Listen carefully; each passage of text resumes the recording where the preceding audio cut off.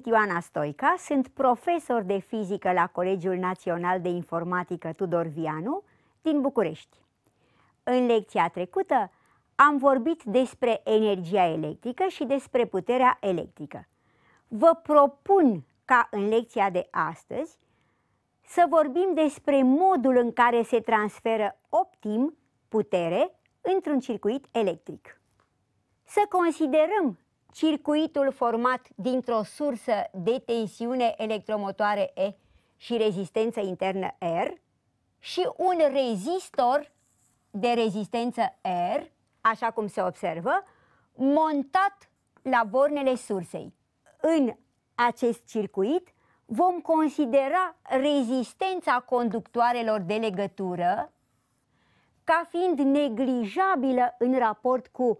rezistența internă R a sursei și cu rezistența rezistorului R montat la bornele sursei de tensiune electromotoare E. Am văzut în lecția trecută că în cazul acestui circuit simplu putem să exprimăm intensitatea curentului ce străbate circuitul în acord cu legea lui Ohm exprimată pentru circuitul simplu respectiv, deci intensitatea curentului este egală cu raportul dintre tensiunea electromotoare E și rezistența totală a circuitului R plus R. De asemenea, tot în lecția trecută am văzut că puterea dezvoltată de sursă pe rezistorul R poate fi exprimată ca fiind RI pătrat, înlocuind intensitatea I în expresia puterii, obținem că puterea P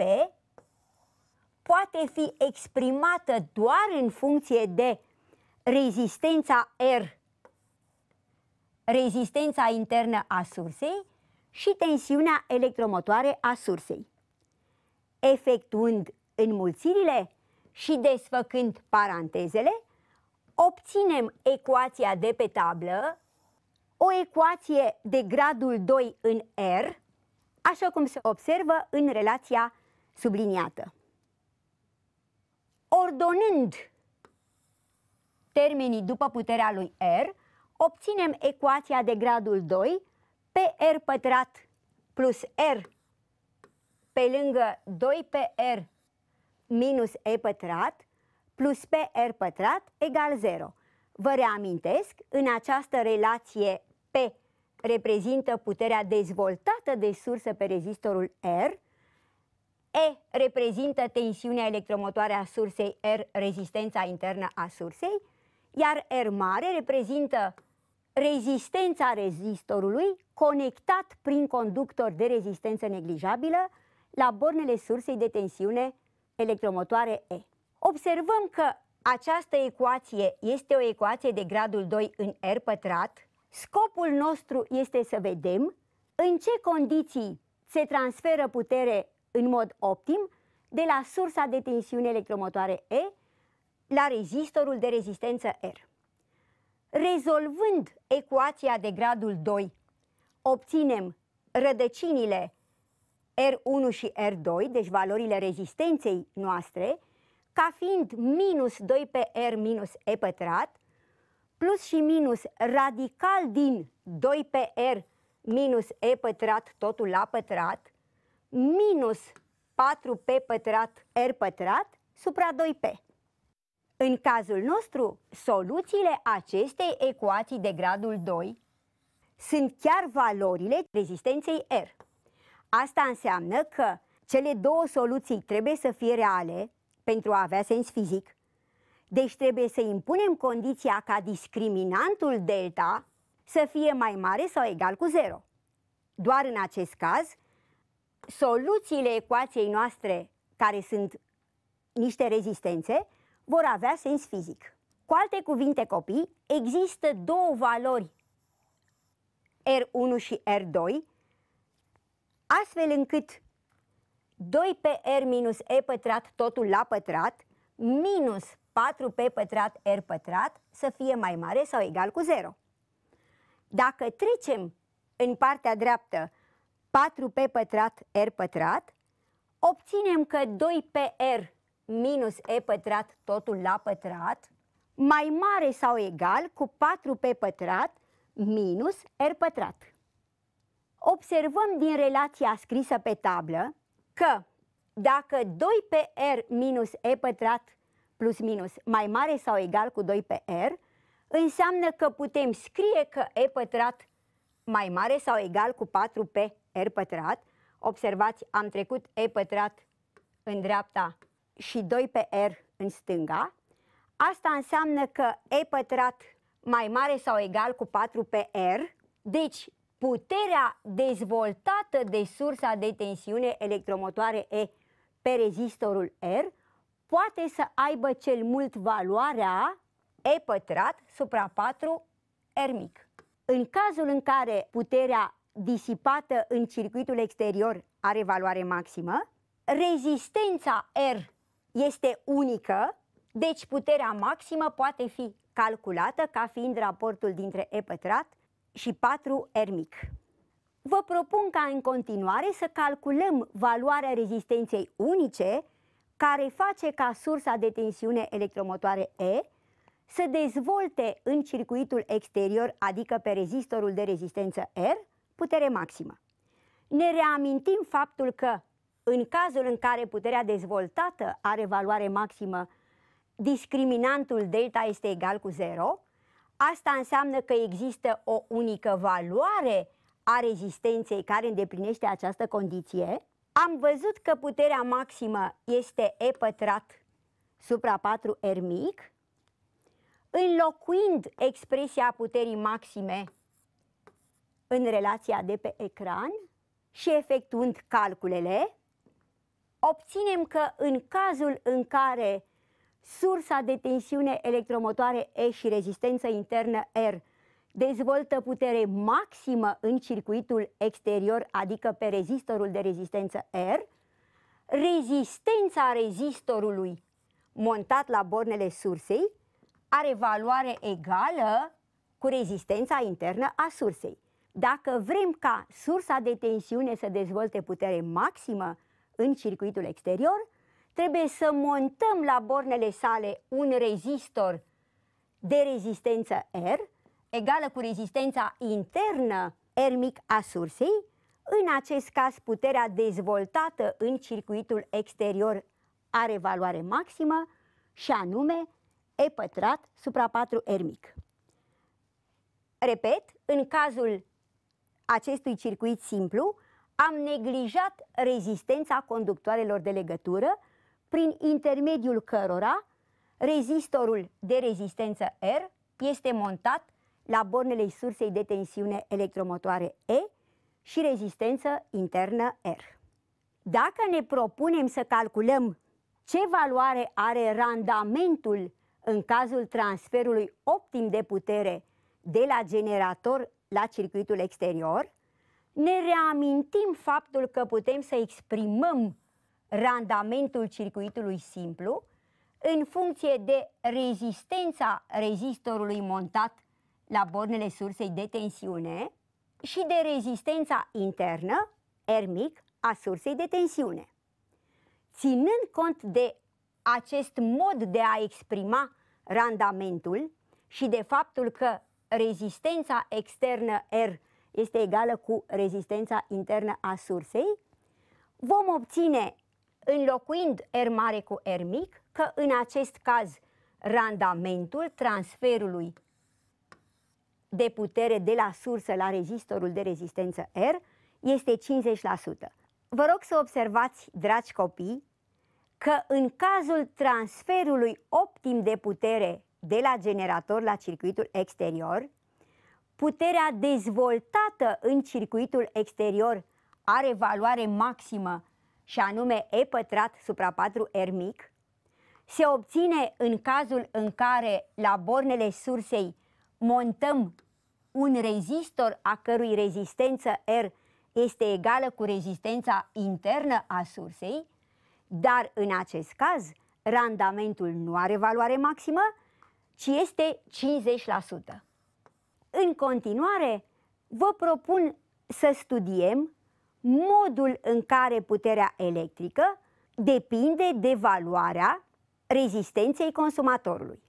pentru aceasta să ne imaginăm un circuit format dintr-o sursă de tensiune electromotoare E și rezistență internă R. La bornele sale montăm un rezistor de rezistență variabilă, observați, putem varia valoarea rezistenței introduse în circuit și să considerăm că și în acest caz rezistența conductoarelor de legătură poate fi neglijată în raport cu rezistența internă R și cu valoarea rezistenței montate la bornele sursei. Ne reamintim faptul că în acord cu legea lui Ohm, scrisă pentru un circuit simplu, putem exprima intensitatea curentului ca fiind raportul dintre tensiunea electromotoare E și rezistența totală a circuitului, am văzut că puterea dezvoltată de sursă pe rezistorul R poate fi exprimată în funcție de rezistența R a rezistorului și de intensitatea curentului ce străbate respectivul circuit, deci putem exprima puterea dezvoltată de sursă în circuitul exterior, adică pe rezistorul de rezistență variabilă R, ca fiind R înmulțit cu E supra R mare plus R mic, totul la pătrat. Dacă vrem să vedem cum putem reprezenta și cum depinde practic puterea electrică de valoarea rezistenței R montată la bornele sursei respective, prin conductor de rezistență neglijabilă, vă propun să studiem relația deja aflată pe tablă și să observăm că în cazul în care rezistența are valoare 0 și puterea dezvoltată în circuitul exterior, evident, va fi 0. De asemenea, dacă la bornele sursei de tensiune electromotoare E vom monta un rezistor a cărui rezistență tinde la infinit, și în acest caz puterea dezvoltată de sursă în circuitul exterior tinde la zero. Ne reamintim faptul că în cazul în care la bornele sursei montăm o rezistență de valoare egală cu rezistența internă a sursei, puterea dezvoltată de sursă în circuitul exterior are valoare maximă și este egală cu E pătrat supra 4R mic. Ținând cont de expresia puterii și de toate aceste observații, putem reprezenta grafic puterea în funcție de valoarea rezistenței R a rezistorului montat la bornele sursei. Observați că în acest caz puterea maximă se obține în cazul în care la bornele sursei conectăm prin fire de rezistență neglijabilă un rezistor a cărui rezistență este egală cu rezistența internă a sursei și observăm,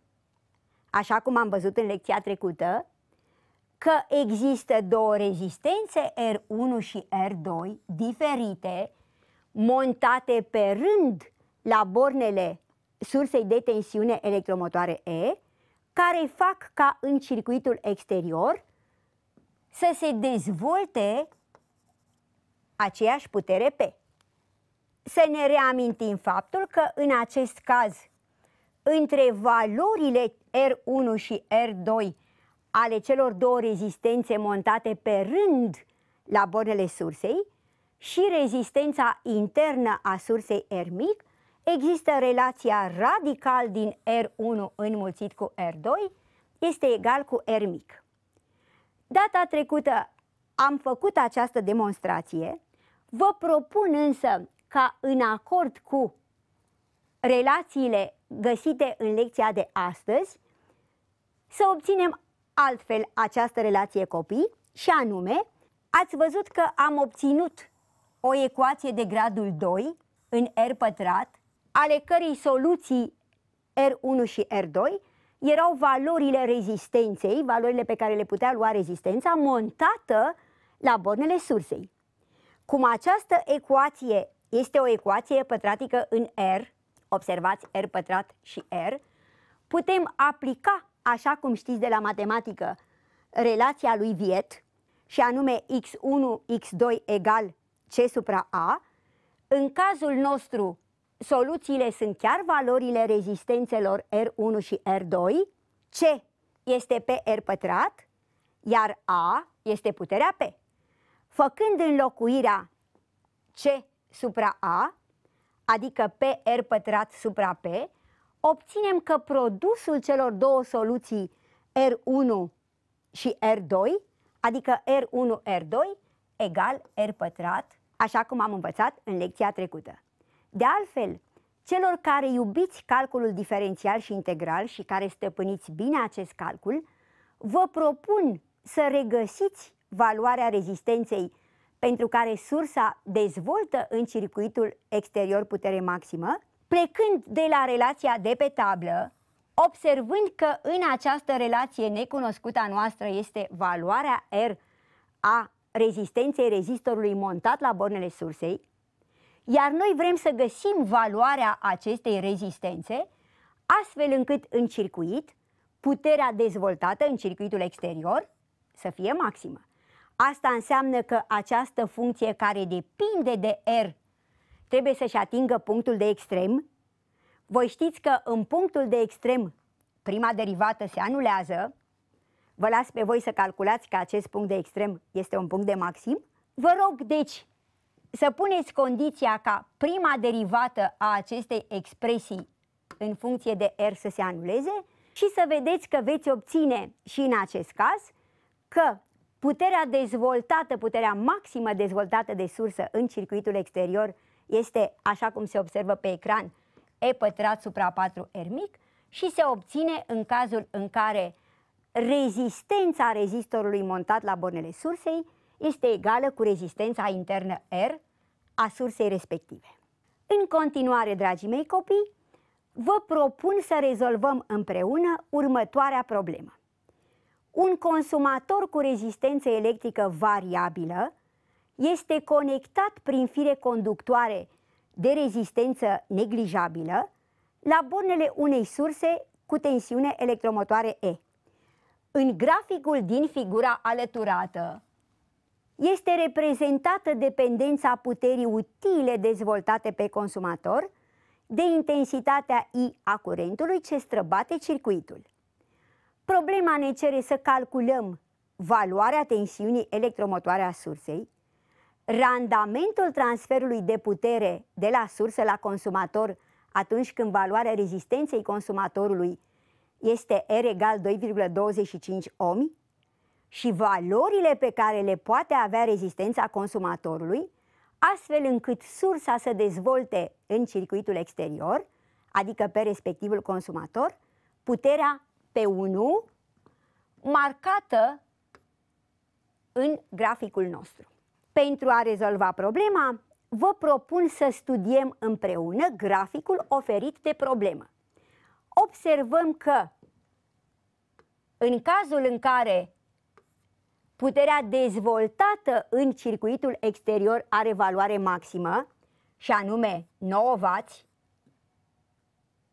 intensitatea curentului ce străbate circuitul are valoarea de 2 amperi. În circuitul în care am reprezentat sursa de tensiune electromotoare și rezistență internă R și rezistorul de rezistență variabilă R, conectat prin conductoare de rezistență neglijabilă la bornele sursei de tensiune, putem exprima ceea ce deja am învățat, și anume intensitatea curentului egală cu E supra R mare plus R mic, ținem cont de faptul că puterea maximă egală cu 9 volți, așa cum am văzut, se obține în cazul în care rezistența internă a sursei este egală cu valoarea rezistenței R a rezistorului montat la bornele sursei. Deci vom obține, dacă înlocuim această valoare a lui R în expresia intensității curentului, că în acest caz rezistența R mic este egală cu raportul dintre tensiunea electromotoare E și 2 înmulțit cu intensitatea curentului ce străbate circuitul respectiv. Pe de altă parte, Noi am văzut că puterea maximă dezvoltată în circuit este E pătrat supra 4R mic. Deci am obținut două relații în care necunoscutele noastre sunt rezistența internă R și tensiunea electromotoare E, cerută de problemă. Înlocuind expresia obținută pentru rezistența internă R în expresia puterii maxime, obținem că tensiunea electromotoare E este egală cu 2P max supra I, ținând cont de faptul că din grafic am citit că puterea maximă dezvoltată în circuit este de 9 volți, caz în care intensitatea curentului ce străbate circuitul este de 2 amperi, obținem că tensiunea electromotoare cerută de problemă, E, are valoarea 9 volți. În cazul în care dorim să calculăm valoarea randamentului transferului de putere de la sursă la rezistorul de rezistență R, în cazul în care valoarea rezistenței R este de 2,25 ohmi, vă propun să calculăm valoarea rezistenței interne a sursei. Am obținut această relație copii anterior pe tablă, înlocuind în această relație valoarea găsită pentru tensiunea electromotoare și valoarea citită din grafic pentru intensitatea curentului, observăm că în acest caz rezistența R montată la bornele sursei noastre este egală cu rezistența internă a sursei de tensiune. Am văzut că în cazul în care rezistența internă a sursei este egală cu rezistența rezistorului legat la bornele sale, în circuit se dezvoltă putere maximă, în circuitul exterior, caz în care randamentul are valoarea 50%. Vă las să rezolvați singur cerința C a problemei și vă rog să nu uitați că dacă n-ați reușit să scrieți toate relațiile care au fost scrise pe tablă în timpul lecției, regăsiți aceste relații pe pagina de Facebook a emisiunii Teleșcoala. Vă mulțumesc și vă doresc să fiți sănătoși copii!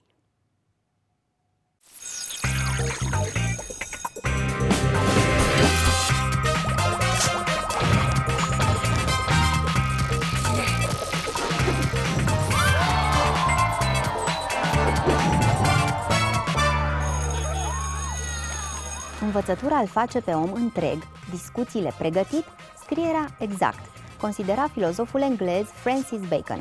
Atât pentru astăzi, prieteni. Dacă vreți să revedeți lecțiile, să știți că acestea sunt disponibile pe site-ul tvr.ro sau pe canalul de YouTube al televiziunii române. Ne revedem mâine de la ora 15 să ne pregătim împreună pentru bacalaureat. Zi frumoasă și spor la studiat!